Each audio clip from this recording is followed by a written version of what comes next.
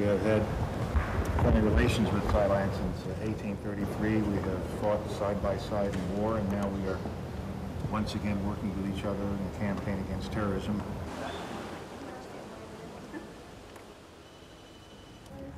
I think we have to get to the Prime Minister.